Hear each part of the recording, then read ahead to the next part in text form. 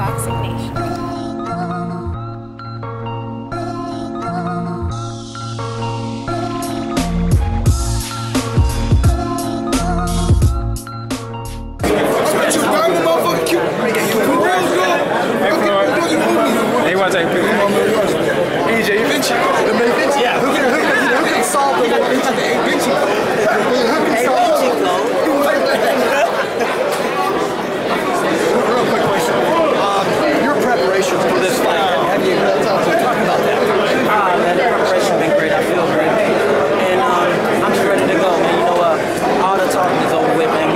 See me, and I got to fight him on Saturday.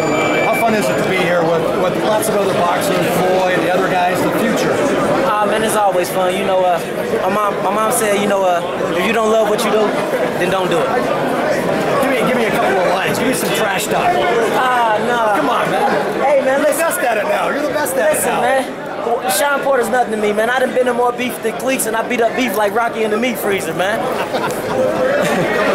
Hey, Broner, you, you said when I talked to you last time that Porter and, and uh, Maidana weren't in the same category.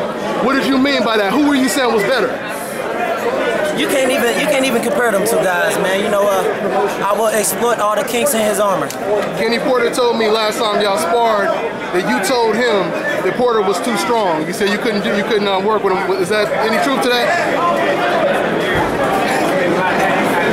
Dude, a joke. He's a joke. Right, so you ready, huh? He's a joke.